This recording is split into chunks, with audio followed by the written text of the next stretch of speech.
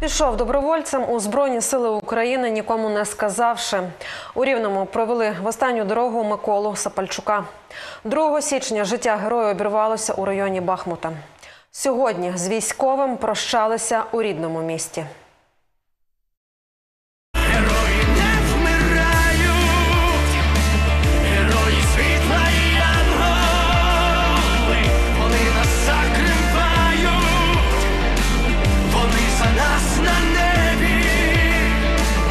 Йому було лише 35. На Майдані Незалежності у Рівному прийшли віддати шану Миколі Сапальчуку, який загинув в районі Бахмута. своїми плечами тримав той мир, який ми маємо сьогодні тут в Україні. І хай наша молитва, і наш уклін, і наша пам'ять буде йому доброю дякою за те життя, яке він положив за незалежність і волю нашої України.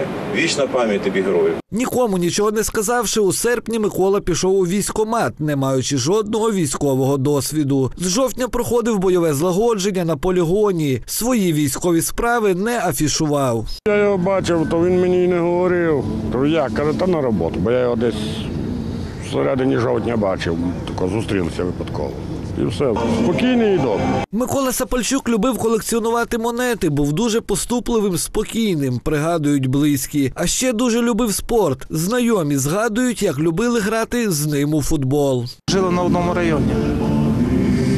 Хороший хлопець, простий, спорт любив. Я й по спорту його знав. 28 грудня Микола вирушив на схід нашої країни. Востаннє виходив на зв'язок із рідними 1 січня, а вже 2 січня загинув під Бахмутом. Мама одного з військовослужбовців не знала Миколу, втім прийшла віддати шану герою, бо її син також пройшов пекло Бахмута.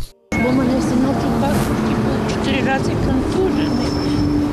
І я шану віддаю, поки що він тут, але він до хоче рветься до побратимів. Він сказав, мам, я піду, щоб тебе защитити з татом і нашу рідну Україну.